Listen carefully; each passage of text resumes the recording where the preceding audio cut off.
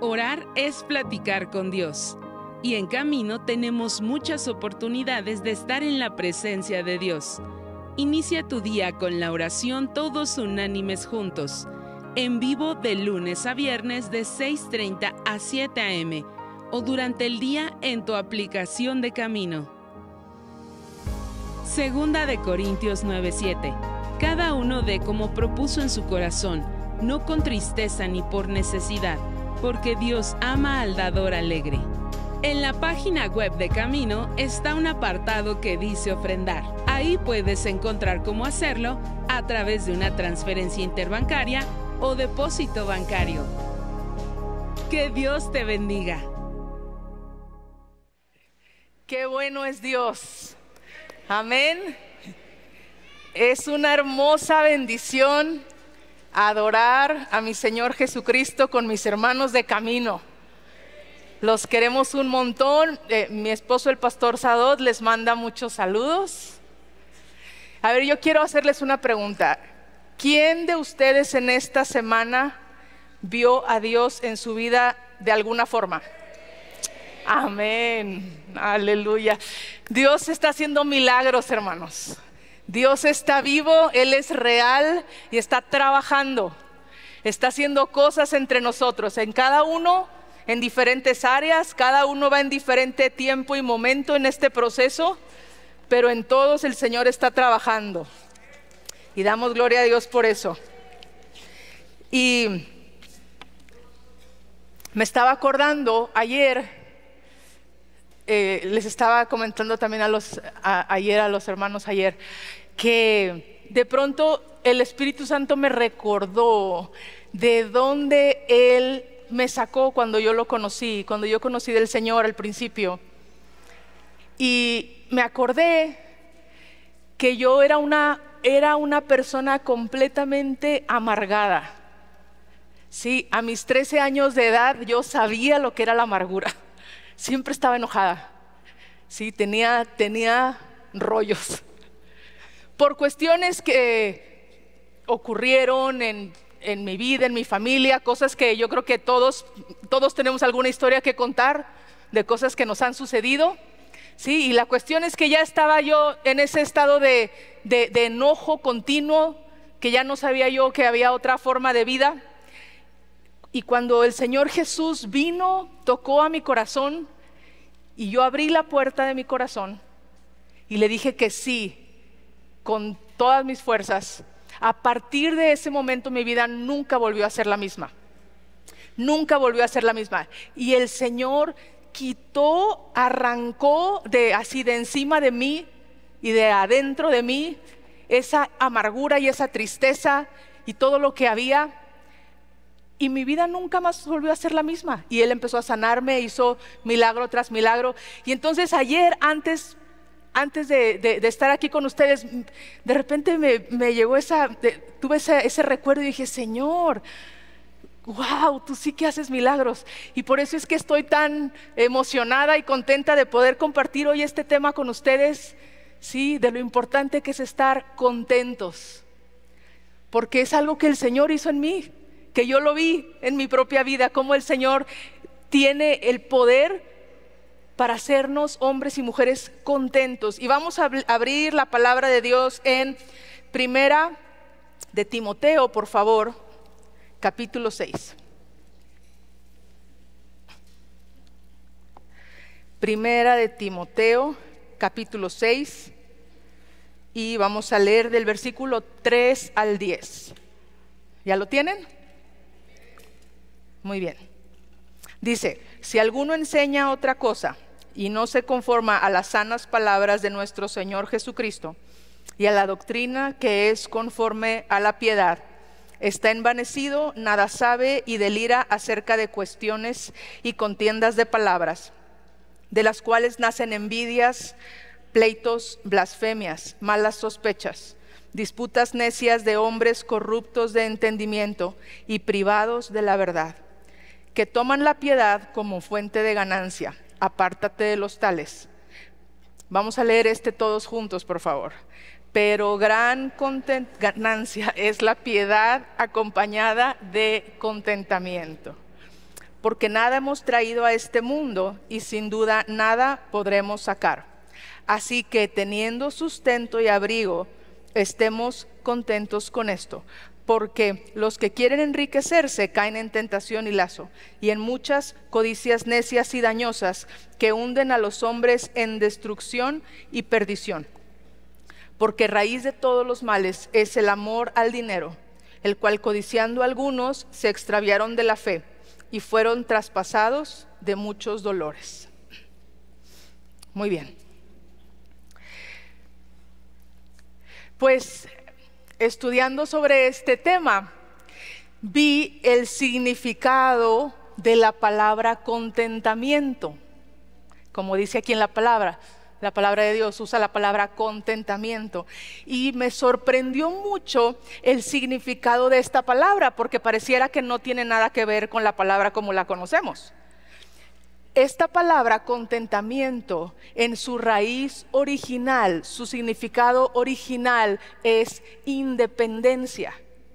Contentamiento quiere decir independencia. Y uno dice, ¿qué, cómo? ¿Por qué? ¿Qué tiene que ver eso? Es una independencia de todas las cosas que son de este mundo independencia de las cosas de este mundo. Y esa independencia se puede lograr solamente debido a que dependemos de Dios. Si dependemos de Dios con todas nuestras fuerzas, con todo nuestro corazón, entonces podemos ser independientes de este mundo. Y entonces ya no somos esclavos de absolutamente nada, de ninguna cosa de este mundo, porque dependemos de nuestro Señor Jesucristo. El cristiano tiene el llamado y tiene la bendición de poder vivir satisfecho, con la convicción en su alma de que tiene lo suficiente los cristianos podemos estar satisfechos sabiendo que si tenemos a Cristo, lo tenemos todo. Si tenemos a Cristo, no nos falta absolutamente nada, hermano. Estamos del otro lado. Si tenemos a Cristo, lo tenemos todo. Y es muy importante, muy importante vivir contentos. La palabra de Dios nos enseña que es importante vivir contentos. Y te voy a decir por qué es importante vivir contentos. Porque es buen testimonio. Estar contentos es una predicación sin palabras. Cuando tú ves a una persona contenta, ¿qué haces? Como que te quieres acercar ¿no? Y dices, que padre, voy a hacer equipo con esta persona porque siempre le está echando ganas, es positiva, sale adelante. Cuando uno ve a una persona así, triste, siempre hablando mal, negativa, uno dice, Uy, se me va a echar a perder el día. Mejor me hago a un ladito. Cuando estamos contentos, estamos predicando sin palabras. Estamos dando testimonio de quién es nuestro Dios. Entonces la gente empieza, bueno, ¿qué será que esta persona, y aunque no te lo diga, pero sí lo piensa, ¿qué será que esta persona, por qué está siempre contenta? ¿De dónde saca esa fuerza? Que yo veo que aunque tiene problemas, porque la palabra nunca nos dijo que no íbamos a tener problemas, sino que el Señor iba a estar con nosotros a través de ellos. Y entonces la gente dice, aunque esta persona tiene problemas, pues es un ser humano normal, veo que siempre está contento, ¿cómo le hace? Es una predicación sin palabras. Y es importante que la gente quiera ser como nosotros, si no, ¿cómo vamos a evangelizar? ¿Cómo vamos a predicarles? ¿Y cómo les vamos a compartir del amor del Señor? Al Señor Jesús lo criticaban por contento. Los fariseos le decían que era comedor y bebedor y que se la pasaba ahí con los discípulos haciendo, eh, pasándosela bien, haciendo fiestas, reuniones, por supuesto. Estaban felices porque el Mesías había llegado. Tenían al Hijo de Dios entre ellos, estaban de fiesta. Y lo criticaban por eso, pues hermanos, que nos critiquen por contentos, que estemos buscando pretexto para estar felices. Sí, así es como somos los hijos de Dios. Hay otra cosa por la que también es importante estar contentos. por salud. Por salud. La palabra de Dios dice en Proverbios 18:14, el ánimo del hombre soporta su enfermedad, pero ¿quién soporta al espíritu abatido? Nadie, hermano. Ya, cuando uno está, cuando uno está así triste, en angustia, cuando uno está decaído, no, no se aguanta uno ni solo, ni solo, ni en el espejo se ve uno. En el, en el año 2023 salió un estudio. Hay una organización que se llama la Sociedad Británica de Psicología. Ellos hicieron un estudio, analizaron, investigaron a un montón de adultos jóvenes y se dieron cuenta que aquellos que habían tenido un papá que hacía bromas en su casa cuando estaban chiquitos, les iba mejor en la vida. Qué, extraño, ¿verdad? Qué cosas. Que aquellos que tenían un papá que echaba chistoretes, aunque no se rieran, aunque fueran chistes malos, pero que tenían un papá que hacía bromas, eran, muchachos que cuando crecían tenían una habilidad, una mejor habilidad para sobreponerse a los problemas. Y que en general eran mejores adultos, se convertían en mejores adultos. Y a lo mejor tú dices, no, pues es que yo no soy sanguíneo. A mí los chistes me salen pero malos. No importa, hermano, no tienes que ser sanguíneo. No tienes que ser comediante. Sí, con que, con que nos echemos los, eh, los típicos chistes Sí, como el de, ¿por qué el tomate no toma café? Porque toma té. Así, así de malos. No tienen que ser chistes buenos. No soy sanguínea. Entonces es importante, es importante estar contentos. Otro estudio que salió, sí, de eh, la Universidad de Harvard, que es una universidad muy prestigiosa en Estados Unidos porque la gente que va allá es muy aplicada. Sí, es gente muy, muy aplicada, muy inteligente. Este estudio duró 85 años. Durante 85 años estuvieron estudiando personas y se dieron cuenta en dónde estaba, de acuerdo a este estudio, la clave de la felicidad y se dieron cuenta que no estaba en el dinero, que no estaba en que tuvieran una carrera muy exitosa, no era esa la, eh, la clave de la felicidad, que no estaba en estar en forma o ser muy agraciado o agraciada físicamente, sino en una cosa. Los más felices eran aquellos que tenían buenas relaciones personales que tenían amistades profundas, que tenían una comunidad a la que ellos pertenecían y estaban ahí cercanos a otras personas. Hermano, ¿cuánto más nosotros los hijos de Dios que tenemos a la iglesia de Cristo? Amén. Tenemos primero que nada la presencia de nuestro Padre Celestial que está ahí de día y de noche con nosotros. Sí, y tenemos a nuestros hermanos de la fe Amén. ¿Cuánto más nosotros podemos estar contentos? Los cristianos podemos disfrutar de las cosas más sencillas, pero más importantes de la vida. Lo más sencillo, hermano, pero es lo más importante, es lo básico. Y le voy a pedir a mi hermano que eh, nos prepare unas fotografías, por favor, de unas personas que a lo mejor ahí tú te vas a identificar, ¿sí? Unas personas que están muy contentas. Si las, las, unas personas contentas, hermano. Mira nada más. Nuestras hermanas de decanes, que son una bendición. Una bendición. Cada uno de nuestros hermanos y hermanas que sirven en, en nuestra congregación. Si me hacen favor, mira, aquí disfrutando de, una, de un convivio de células, gracias a Dios. La que sigue. Mira, estos chamacos no se cambian por nadie. No se cambian por nadie. Están desayunando en su encuentro de niños, felices.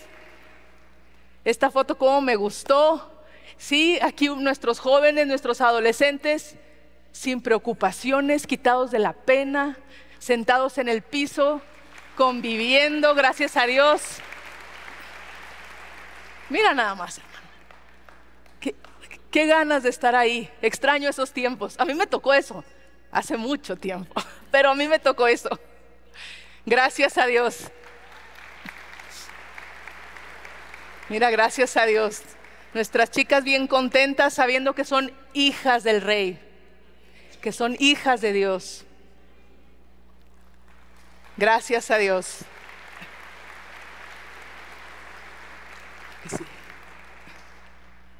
Amén. Hermano, no se puede ser más feliz que esto.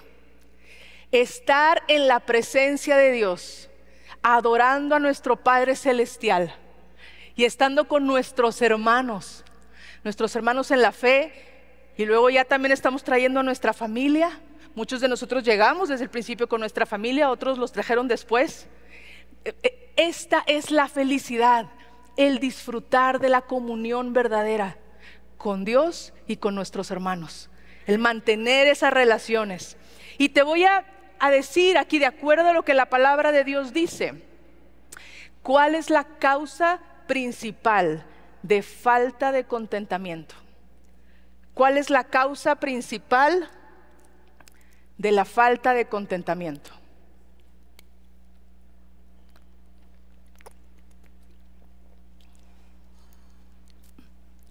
Y dice aquí la palabra de Dios en el versículo 10, porque raíz de todos los males es el amor al dinero.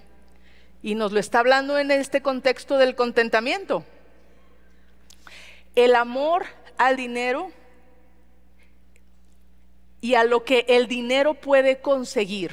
A lo mejor tú dices, no, no, pues yo, no, yo el dinero para mí no es tan importante. A lo mejor no es el dinero así, los billetes tal cual, pero sí las cosas que el dinero puede conseguir. Puede ser comodidad, puede ser cosas, puede ser influencia o fama. Si saben que tengo, si saben que soy el, riquillo o la riquilla, pues me va, a dar fama. Y puede ser que eso nos guste. O poder, poder sobre otras personas, o a lo mejor el dinero nos ayuda a conseguir cierta apariencia. Dice la palabra que cuando una persona quiere enriquecerse, cae en muchos, en muchos dolores. Querer enriquecerse se refiere a un deseo con todas las fuerzas por tener más, por tener más de lo que ya se tiene. Es tener una sed de acumular más. Y esa sed nunca se sacia. Es una sed que nunca se acaba. Y al final es solamente una ilusión porque la seguridad del futuro no la podemos comprar. Hermano, tú y yo sabemos que no tenemos, no tenemos comprado el futuro, no sabemos cuánto tiempo vamos a estar aquí en la tierra. Vamos a estar los días exactos que Dios quiere que estemos, pero con dinero no podemos comprar ni saber cuándo es, ni tampoco podemos comprar el extender nada.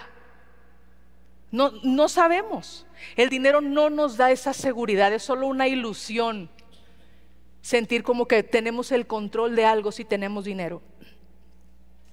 Después dice ahí, tentación, que es tentación, lazo, se caen codicias necias y dañosas. Si le damos demasiada importancia a las cosas materiales, nuestro corazón puede cambiar.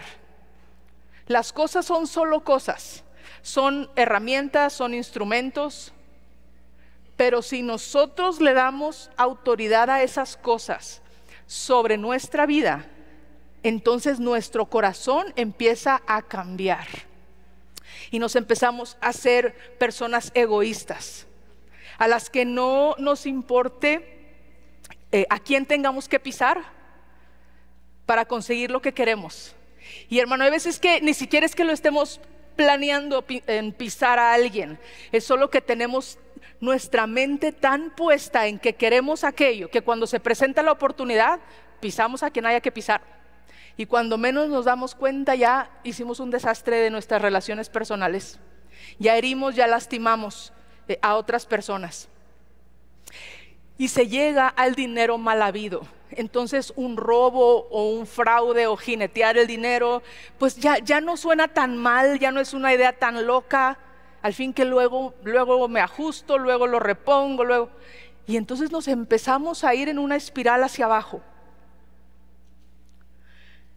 Dice ahí la palabra que hunde a los hombres en destrucción y perdición.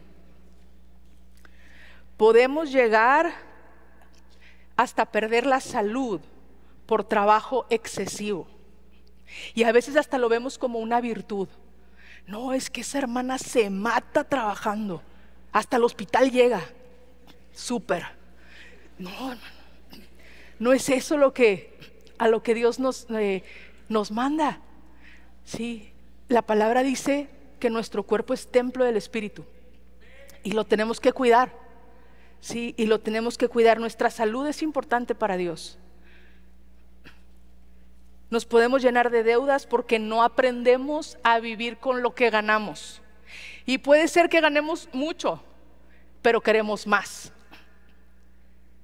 Entonces no estamos dispuestos a vivir de acuerdo a, esta cantidad, queremos más. Y entonces empezamos, empezamos a hacer cosas que nos enredan, que, nos, que son un lazo alrededor nuestro. La riqueza puede producir ansiedad, porque entre más tenemos, más hay que cuidar. Más hay que cuidar.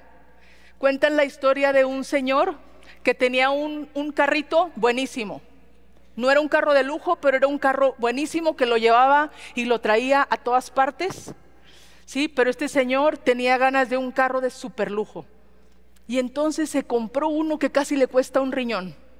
¿Sí? Y entonces lo estacionaba allá afuera de su casa y en la madrugada se levantaba ahí a la ventana a ver que su carro estuviera bien, que no estuviera alguien tratando de robárselo o que no lo estuviera alguien rayando por envidia. Y le entró aquella angustia y entonces se dio cuenta y dijo, ¿qué? Estaba más contento antes. Y entonces mejor vendió el carro y regresó a ser el mismo feliz de antes. Entre más tenemos, más hay que cuidar. Y puede uno entrar en ansiedad. El acumulamiento de, riqueza puede estorbar para eh, las relaciones significativas. Cuando hay amor al dinero, estorba para tener relaciones significativas por causa de la envidia. Muchas veces es envidia de nosotros hacia otra persona porque queremos lo que esa persona tiene. Pero en otras ocasiones somos nosotros los que adquirimos algo y entonces andamos de presumidos. ¿Verdad? Andamos posteando de más. Sí, y entonces provocamos la envidia de otros. Y aquella persona que antes me veía con buenos ojos, Aquella persona con la que antes me llevaba bien, ahora de repente ya como que ya se distanció. ¿Por qué? Porque ya hay envidia que muchas veces nosotros mismos provocamos.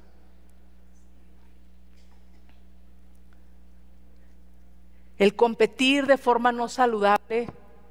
No estamos hablando de una competencia deportiva, que es buenísimo hacer deporte el que lo haga, sino una, una, competencia que no es saludable, en donde se vuelve una obsesión, tengo que ser mejor que fulanito de tal, tengo que ganar, tengo que demostrar que yo soy mejor en esto y en aquello. Y eso es basado en inseguridad, inseguridades que uno tiene. Dice la palabra que el amor al dinero provoca desvío, perdición y mucho dolor en el mundo, en este mundo, el mayor dolor que existe es producido por vivir separados de Dios y separados de los demás. El amor al dinero nos separa de Dios y nos separa de los demás. Y ese es el mayor dolor que el ser humano experimenta, el estar lejos de Dios. Ahora es muy importante esto, la palabra de Dios nunca condena el tener posesiones. Nunca condena el soñar con superarse, ¿sí? Nunca, nunca condena el ser próspero, jamás condena eso. Siempre y cuando sea Dios mismo el que esté proveyendo la bendición y que nosotros lo reconozcamos así, que sepamos que de Él vienen todas las bendiciones. Contentamiento no es lo mismo que mediocridad. Contentamiento no es ser mediocre. Dios quiere prosperarnos, pero siempre hay un propósito más grande en ello. Dios quiere bendecirnos para que seamos bendición a otros. Si Dios quiere bendecirnos para que bendigamos a otros, no para comernos todo solo. Si no hay que ser come solos, hermano. Es horrible eso. Perdón. Las cosas se disfrutan mucho más cuando las compartimos con alguien. En una ocasión vi una entrevista de una iglesia le hizo una pequeña entrevista a un muchacho de su propia congregación y yo vi esta entrevista. Este muchacho era un, chico recién convertido que tenía su, su carrito pero él tenía pues un montón de, amigos que no conocían de Cristo y eran personas que, no tenían muchos recursos, entonces ninguno de ellos tenía un vehículo. Y entonces este, este chico lo que decide hacer es vender su carro para comprar una combi, para pasar por todos sus amigos para llevarlos a la iglesia. Sí, y este muchacho sale ahí en la entrevista y estaba feliz no se cambiaba por nadie. Estaba contento de poder bendecir a sus amigos de esta forma. Sí, sus amigos estaban empezando a conocer el Evangelio también. Sí, eso, hermano, es prosperidad. Esa es bendición. Ese es contentamiento y es la verdadera felicidad. Ahora, ¿cómo podemos lograr estar contentos? ¿Cómo vamos a lograr estar contentos? Número uno, perspectiva. Y vamos a abrir ahí otra vez, vamos a leer el versículo 6. Y les voy a pedir que lo leamos juntos otra vez. ¿Ya lo tienen? Versículo 6. Pero gran ganancia es la piedad acompañada de contentamiento. Número uno, perspectiva.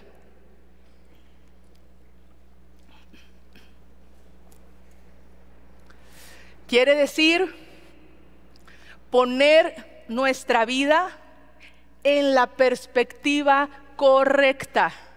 ¿Cuál crees que es la perspectiva correcta? La de Dios.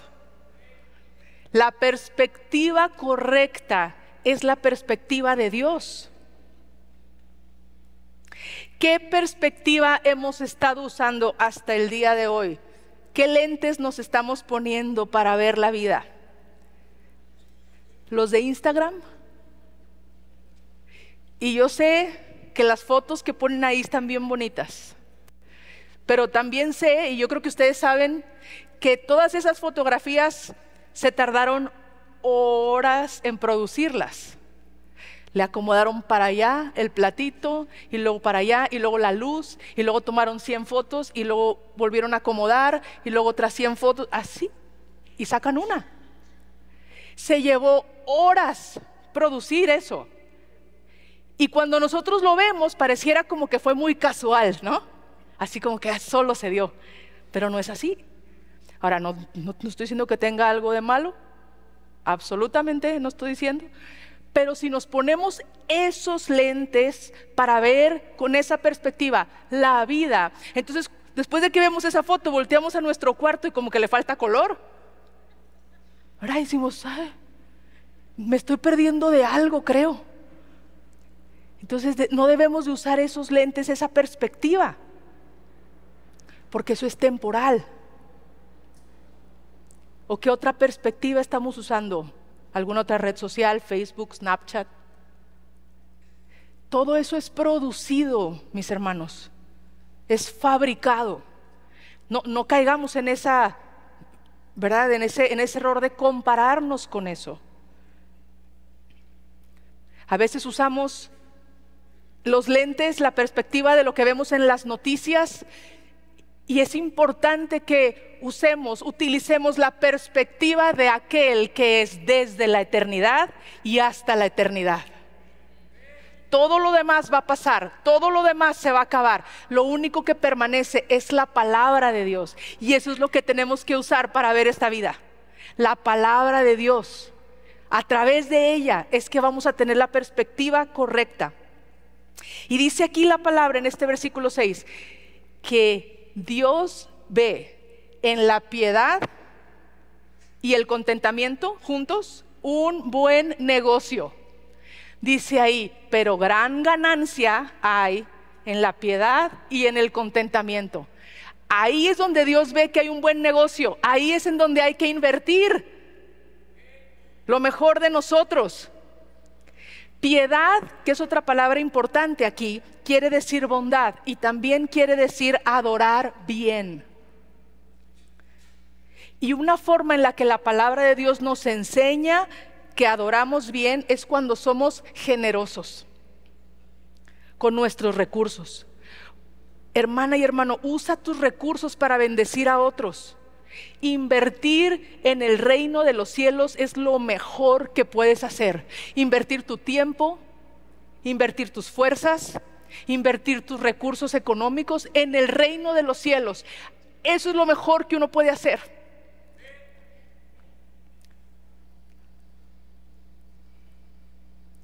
Y el ser generosos nos hace libres del amor al dinero. Te hace libre del amor al dinero. El amor al dinero nos puede llevar a tal angustia que hasta nos provoquemos algún daño físico. Y hermana y hermano, nada en toda esta tierra vale ni tu paz, ni tu salud física, ni tu salud mental. Tu vida vale la sangre del Señor Jesucristo. No des tu vida por nada menos que eso. Tu vida vale la sangre del Señor Jesús. Cuando, cuando somos generosos, como les decía, la generosidad nos hace libres del amor al dinero y además te deja una sonrisa que nadie te la puede quitar. Hace, hace no mucho tiempo estábamos un grupo de personas y fuimos a una heladería. Y estábamos ahí comiéndonos nuestro helado, todo muy bien, contentos, ¿verdad? Y en eso llega un niño que estaba vendiendo dulces, un niño como de unos ocho años, y estaba vendiendo dulces. Y entonces le compramos unos dulces. Pero luego una, una de las personas que venía con nosotros le dijo, ¿quieres un helado? Y el niño se le hicieron así los ojos, sí. ¿De qué sabor lo quieres? De vainilla. Entonces ya, bueno, vamos a comprarte un helado. Y ya le dijeron ahí al señor que atendía, a ver si me le das aquí a mi hermanito un helado de vainilla, por favor. Y el niño estaba feliz comiéndose su helado. Pero ¿sabes quiénes éramos los más felices? nosotros de ver al niño. Sí, si estábamos contentos, ahora estábamos doblemente contentos. La generosidad, hermano, te hace feliz, porque la palabra de Dios dice que hay mayor gozo cuando damos que cuando recibimos. Y la palabra de Dios siempre se cumple, porque es verdad. Entonces, este es el punto número uno, perspectiva. Punto número dos, mayordomía. Otra palabra para mayordomía podría ser administración. Vamos a leer versículo 7. Si lo leemos juntos, por favor. Versículo 7. Porque nada hemos traído a este mundo y sin duda nada podremos sacar. Entonces trajimos un montón de cosas cuando llegamos aquí a la tierra. ¿Cuánto trajimos?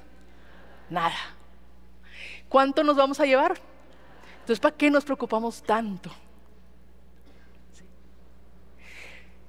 Todas las cosas que tenemos son de Dios. Todo lo que tenemos le pertenece a Él. Nosotros solamente somos mayordomos. Solamente somos administradores de sus cosas. Entonces descansemos en Él, porque el dueño es Él. Por supuesto hay que ser buenos administradores, es a lo que Dios nos llama, pero el dueño es Él. Y a veces perdemos la paz porque ay, ya se me rayó el carro. Y perdemos la paz, hermano. O el chamaco hizo los picazos en la pared. ¿Cuántos tuvieron de esos en su casa o tienen? O... Sí, yo también. Y puede uno hacer bilis. Son cosas. Se reparan, se reponen y si no, no pasa nada. Son cosas. Nada vale nuestra paz, nada vale eh, nuestra relación con nuestro prójimo. Inclusive, aunque este es un tema más para una predicación de familia, pero de todas formas lo voy a decir, tu familia le pertenece a Él. Y tus hijos le pertenecen a Él. El Señor ama a nuestros hijos más de lo que nosotros los podemos amar. Y muchas veces entramos en una angustia por nuestros hijos. Dios los ama más que tú. Y, sé de lo que estoy hablando. Dios los ama más que nosotros descansemos en Él. Entreguémosle nuestros hijos a Él, nuestra familia, ese miembro de la familia que aún no viene a conocer del Señor. Y regresando a lo de las cuestiones materiales, no nos aferremos a las cosas materiales que ni siquiera son nuestras, son de Él. Porque se vuelve, es como una maleta llena de piedras que no podemos ni cargar, hermano. Hasta nos lastimamos las coyunturas tratando de cargar aquello. Y de todas formas no lo vamos a lograr. Descansemos en Él. Punto número tres. Agradecimiento. Entonces, número uno, ¿cuál fue? Perspectiva, muy bien. Número dos, mayordomía. Número tres, agradecimiento. Y vamos a leer el versículo 8. Dice, así que teniendo sustento y abrigo, estemos contentos con esto. Mis hermanos, nunca nos ha faltado nada y no necesitamos tanto como a veces pensamos que necesitamos. Seamos como niños. No se la complican para jugar, ¿sí? No están angustiados por el futuro y pueden disfrutar de lo pequeño, pueden disfrutar de las cosas, de, lo cotidiano. Sí, de las cosas cotidianas. El otro día fui al súper y estaba, eh, estaba eh, un, niño pequeño en el carrito y su mamá se había volteado porque estaba acomodando acá el súper y cuando regresa con el niño, el, el, niño le dice, ay mami, y se emociona todo. Yo dije, ¿qué? Es lo cotidiano, es su mamá, la ve todos los días. Pero se vuelve a emocionar. Sí, porque para él su mamá es muy importante, obviamente. Seamos así. Disfrutemos de lo cotidiano y de lo sencillo. Un, ejemplo de algo que, que, yo recordaba es cuando ocurrió todo esto del COVID y que fue algo tan, tan tremendo, tan difícil, tan terrible. Eh, a los que nos dio y que perdimos el gusto y el olfato, por ejemplo en mi caso, después de unas semanas de que las cosas no te saben y que no puedes oler, y entra como una desesperación. Y cuando finalmente empieza uno a recobrar el gusto y el olfato y dices, ¡qué emoción! Ya me saben otra vez los tacos. Sí, disfrutemos lo sencillo, disfrutemos lo cotidiano, las bendiciones que Dios nos da que a veces las damos por sentado. y que son tan importantes. La persona que está a tu lado, las personas con las que vives. Sí, disfrutemos la compañía de la gente que, nos ama y a la gente que amamos. Y le voy a pedir a mi hermano del, del piano si me puede ayudar, por favor. Punto número cuatro.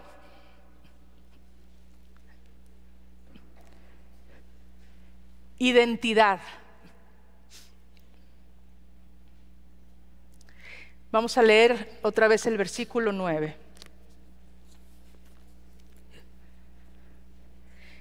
Dice, porque los que quieren enriquecerse caen en tentación y lazo y en muchas codicias necias y dañosas que hunden a los hombres en, destrucción y en perdición.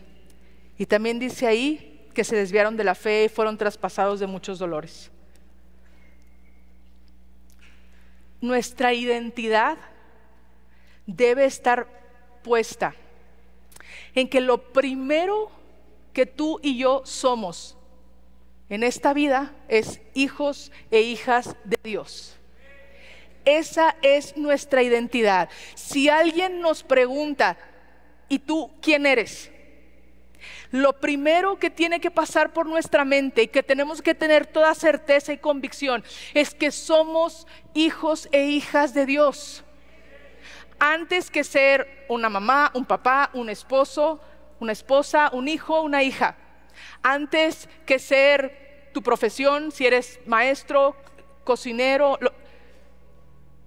antes que cualquier cosa somos hijos e hijas de Dios.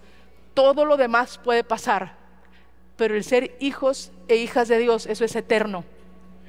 Eso es eterno. Ahí es donde debe estar puesta nuestra identidad. No en nuestros logros, no en nuestro closet, la marca que usamos, que no tiene nada de malo comprarse algo de marca y si te lo puedes comprar, qué bueno mi hermano y mi hermana, pero no está ahí tu identidad.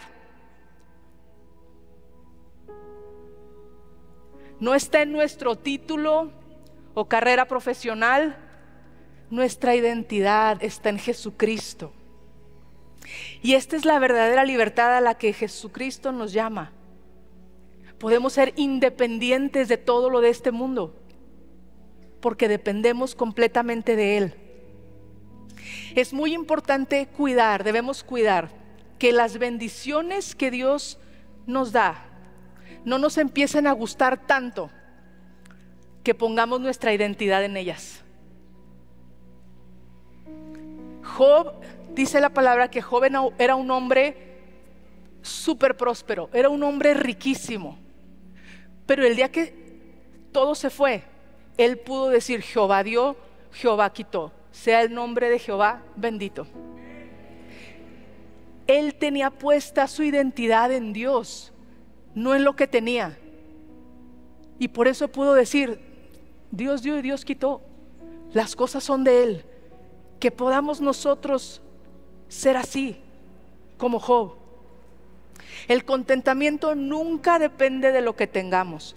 Si hoy no somos felices con la vida que Dios nos dio hoy, no vamos a ser felices nunca. No importa cuánto acumules, cuánto alcances, cuánto logres. Muchas veces decimos, el día que tenga tal cosa o tal cantidad voy a ser feliz. Y entonces llega ese día y nos damos cuenta que no era cierto, que el hueco sigue estando ahí y decimos, ah, es que me faltaba tantito más. Y llega ese día y tampoco. Porque la felicidad está en Cristo Jesús. No en lo que podamos adquirir en este mundo. El contentamiento viene de adentro. Nuestra más preciosa posesión es nuestra relación con Dios a través del Señor Jesucristo. La riqueza más grande en la vida no está en el dinero, sino en las amistades y en la comunión que Dios nos permite tener. Y algo que estaba yo meditando ayer y que de repente me cayó así un 20, hermanos, ¿se imaginan ustedes que nosotros no tenemos temor a la muerte? Eso es, eso es algo glorioso. Eso es un milagro. No tenemos temor a la muerte. No es que tengamos ganas de morirnos ya, ¿verdad? Y vamos a vivir la vida aquí al 100% y con todas las ganas y hasta el último día para el Señor y nos vamos a ir bien desgastados. Pero no tenemos, no tenemos temor, porque sabemos exactamente a dónde vamos. Tenemos un Padre bueno y estamos listos para encontrarnos con Él en cualquier momento, si es hoy o es mañana o es en 50 años. Estamos listos. Y eso es algo glorioso, hermano. Mira, hay gente, estaba leyendo, hay gente que literalmente gasta fortunas, millones, para poder extender un poquito la vida porque tienen mucho miedo a morir y tratan de extender. Y no tiene nada malo que queramos vivir más años. Pero lo que digo es, hay gente que invierte todo lo que tiene para tratar de bajar un poco esa ansiedad por el temor a la muerte. Y es algo que nosotros no tenemos. Eso es algo maravilloso. Y eso es estar contentos. Estamos contentos porque sabemos a dónde vamos un día y nuestros amados hermanos que, han, que, que ya están con el Señor, ellos están en donde todos nosotros soñamos con estar un día, en donde anhelamos con estar un día en su presencia. Y ahí vamos a estar también. Y va a ser un pachangón, hermanos. Pachangón de aquellos. Los ojos puestos en el cielo te hacen ver el valor tan inferior de las cosas materiales. Se raspan, se gastan, se acaban. Se te quita el miedo al futuro, a la austeridad, a no vivir cómodos o a no tener lo que tengo hoy. El mundo necesita urgentemente ver personas que aunque puede ser que lo tengan todo, están contentos, se contentan con vivir con poco. No hay virtud alguna en la pobreza, hermanos. La Biblia nunca, nunca promueve eh, que seamos pobres, no alaba eso. Yo sé que aquí hay muchos hermanos a los que Dios ha prosperado y está prosperando, porque cuando uno hace lo que la palabra de Dios dice, pues uno prospera. Es, es la promesa de Dios y uno trabaja duro, llegas puntual a tu trabajo, eres excelente, pues no hay forma de que no. Pero lo que el mundo necesita ver es que aunque Dios te prospere, tu corazón sigue siendo el mismo.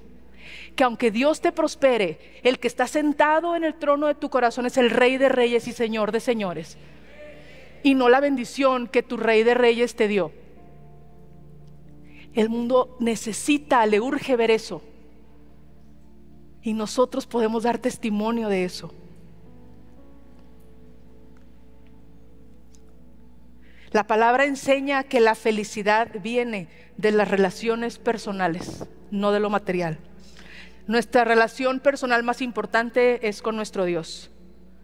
Y después con nuestra familia, nuestra familia de la fe, nuestra familia en Cristo y nuestra familia de sangre.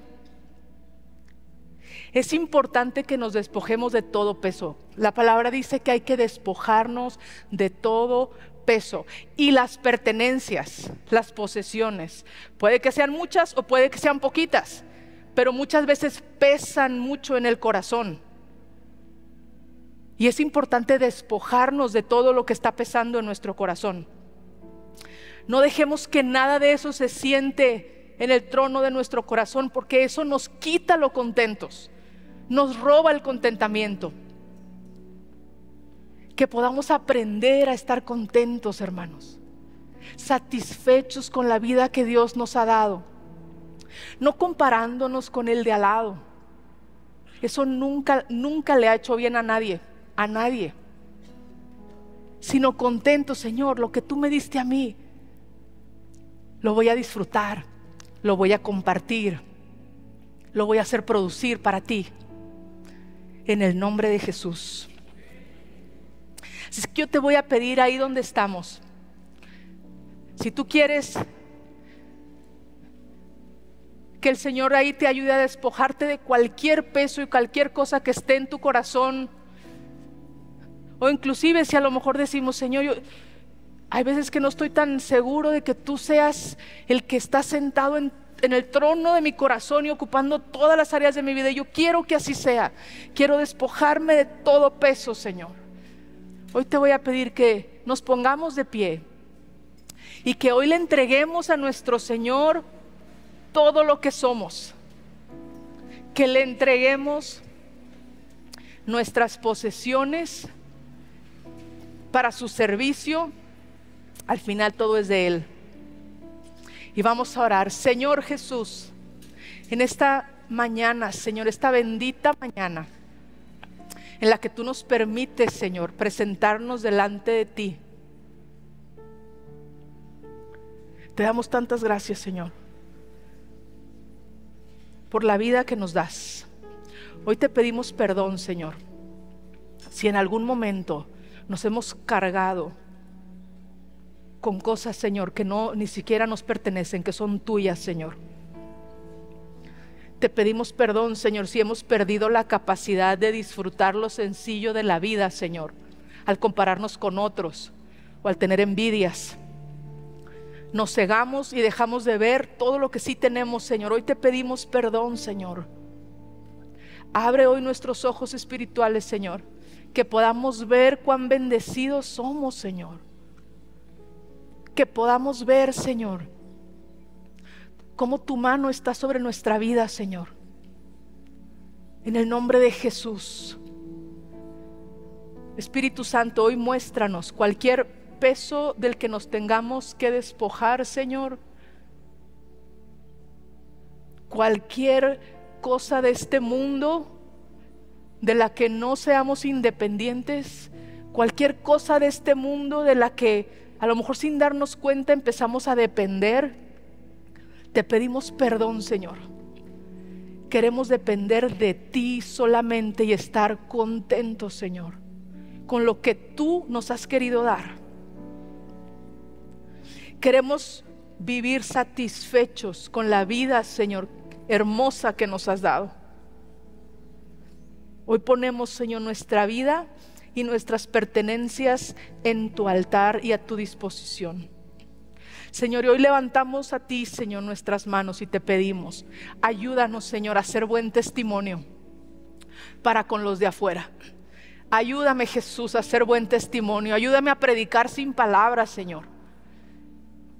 Que tu gozo se me note un gozo, Señor, que viene de adentro, una sonrisa que nace desde lo profundo del corazón, porque tú vas conmigo, Señor, a donde quiera que voy. En el nombre de Jesús, Señor, ayúdanos a hacer testimonio a donde vayamos, Señor. En el nombre de Jesús, Señor.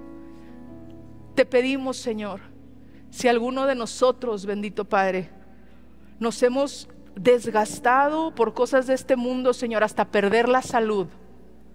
Perdónanos, Señor, si no hemos cuidado el templo de tu Espíritu Santo, que somos cada uno de nosotros, Señor. Enséñanos, Señor, a descansar.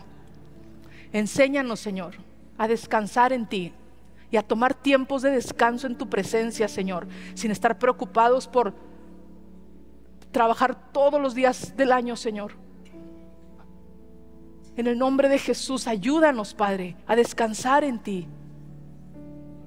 Señor, que, que, el acumulamiento, Señor, de cosas de este mundo no se vuelva una obsesión en nuestra vida, Señor, por favor. En el nombre de Jesús. Hoy te pedimos, Señor, ayúdanos a tener la perspectiva correcta, que es la tuya. Tú eres, Señor, desde la eternidad y hasta la eternidad. Tú ves el panorama completo, Señor.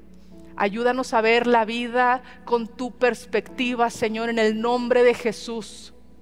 Ayúdanos, Señor, a poner nuestros ojos en ti y en las cosas eternas, Señor. A poner nuestros ojos en las cosas de arriba, en lo que dura para siempre, Señor. En el nombre de Jesús. Te pedimos, Señor, que nos ayudes, Señor, a comprender que solo somos mayordomos y administradores de todo lo que nos has dado, Señor, y de todo lo que nos vas a dar, Señor, porque yo sé que tú estás prosperando a mis hermanos, Señor.